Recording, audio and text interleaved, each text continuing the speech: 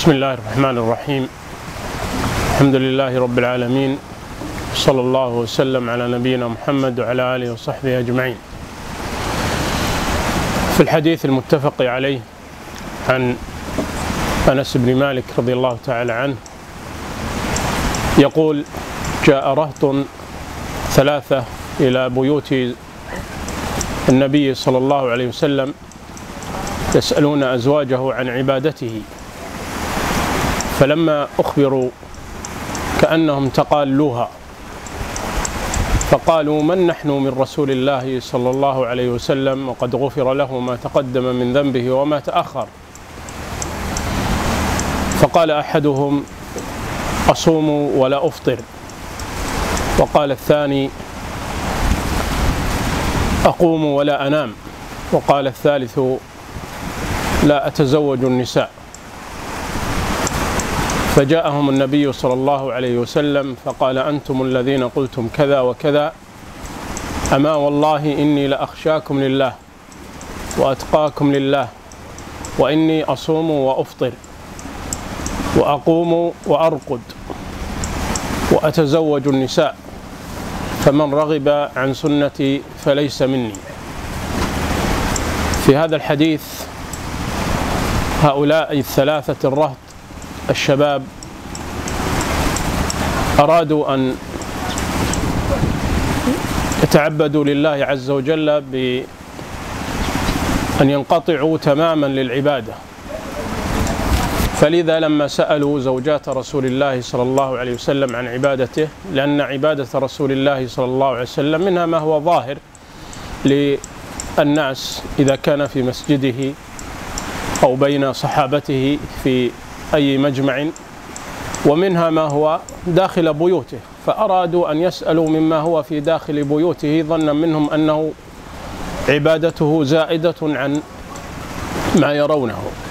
فلما أخبروا بها كأنهم تقالوها. ثم جاءتهم هذه الخاطرة وأن رسول الله صلى الله عليه وسلم عبادته أو عبادتنا لا بد أن تكون أكثر منه لأنه قد غفر له ما تقدم من ذنبه وما تأخر. وانظر كيف أن الشبه قد تطرأ على الإنسان كما طرأت على هؤلاء الثلاثة وأنه يجب أن يكون عبادتهم أكثر من عبادة رسول الله حتى يدخلوا الجنة. فجاءهم النبي صلى الله عليه وسلم وبين لهم أن لا أحد أتقى ولا أحد أخشى لله منه عليه الصلاة والسلام. وأنه يصوم ويفطر يصوم بعض الأيام ويفطر أياما أخر ويقوم بعض الليل وينام ويتزوج النساء. قال فمن رغب عن سنتي فليس مني. من رغب عن سنته عليه الصلاة والسلام كما أراد هؤلاء الثلاثة فإنه قد تبرأ منه رسول الله صلى الله عليه وسلم. وأحيانا تكون النية الصالحة من قبل بعض من يريدون الخير لكنهم يجانبون الصواب في مخالفة هدي رسول الله صلى الله عليه وسلم. ولذا لا تكفي النية الصالحة ليقبل العمل.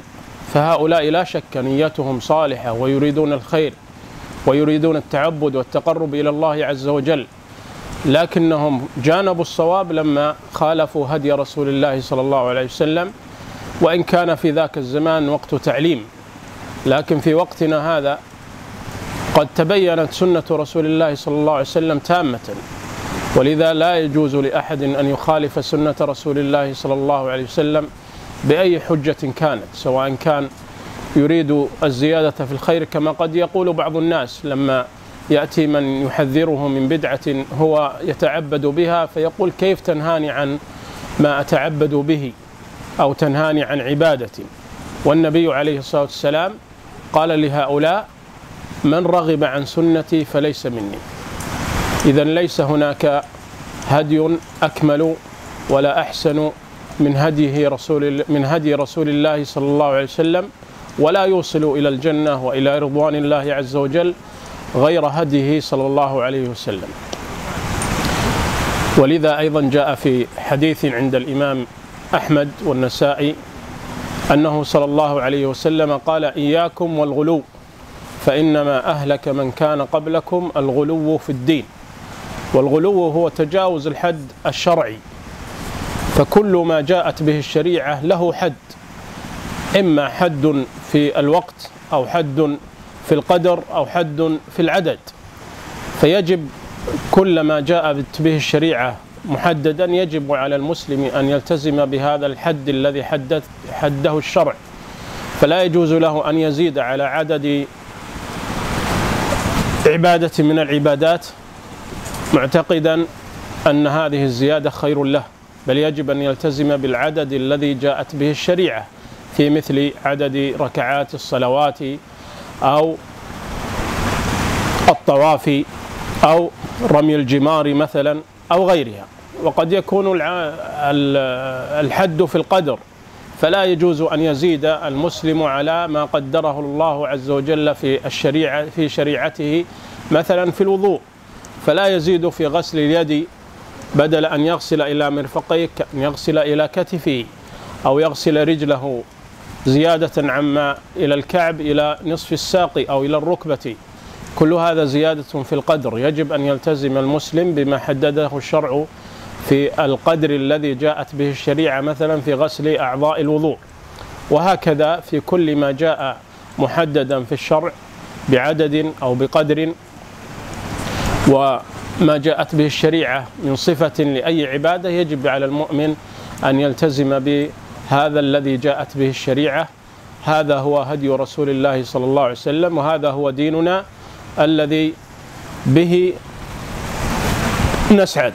وهذا هو الدين الذي جاء به محمد عليه الصلاة والسلام فحذر من هذا الغلو وهذا الحماس الزائد من قبل بعض الناس ظنا منه أنه يزيده حبا لله ويزيده قربا من الله والحقيقة كما قال عليه الصلاة والسلام لا يزيد المؤمن حبا لله وقربا لله إلا أن يتبع رسول الله صلى الله عليه وسلم كما قال ربنا سبحانه قل إن كنتم تحبون الله فاتبعوني يحببكم الله ويغفر لكم ذنوبكم.